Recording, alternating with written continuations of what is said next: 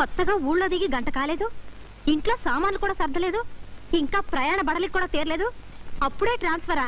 ఈసారి ఏం ఘనకార్యం చేశారు? మా ఎస్ఐ గారు ఇంటి పనులు చేయమన్నాడు.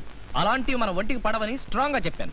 ఇంకే స్ట్రాంగ్గా ఓ తన్నుతను ఉంటాడు ఈ ఊళ్ళో తంతే ఆ ఊరికి ఆ ఊళ్ళో తంతే ఇంకో ఊరికి. ఇలా ఎంతకాలం అండి? మీరే ఎస్ఐ అంటే నాకు ఈ బాధలు ఉండేవి కాదు కదా. అసలు పెళ్ళి చూపులో మీరు ఎస్ఐ అని ఎందుకు అబద్ధం చెప్పారు? అదే నాకు మండుద్ది. ఇప్పుడు ఆ గొడవలన్నీ ఎందుకు?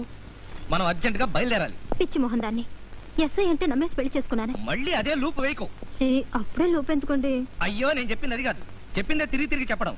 ముందు ఇవన్నీ సర్దు. అవతల బస్సుకు టైం అవుతుంది. ఇప్పుడే అన్ని విప్పాను. మళ్ళీ సర్దడం నా వల్ల కాదు బాబు. నీ వల్ల కాదా. అయితే నేను సచిన్ తీసుకు వెళ్ళిపోతాను. దాన్ని తీసుకెళ్తారా? మిమ్మల్ని? అమ్మో కొట్టకు. నేనే సర్తాను మ్మ్. త్వరగా సర్దండి.